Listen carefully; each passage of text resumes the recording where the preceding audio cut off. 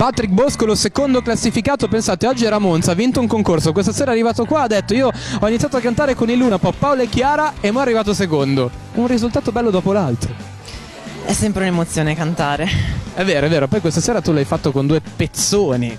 Sì, prima magari sembrava un ragazzino innocente, poi bam, che hai put a spell on you. Esatto, esatto. Infatti il bello suo è che non solo canta, ma lui davvero interpreta in tutti i sensi. Ha una gran bella presenza scenica. Ma com'è che l'hai in qualche modo acquisita questa capacità di stare sul palco e sentirti così a tuo agio?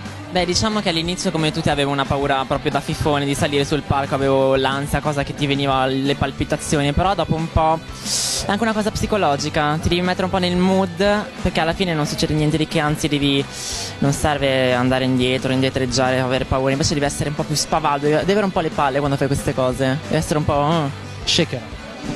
È come shaker lui, ragazzi, altro che Paola e Chiara.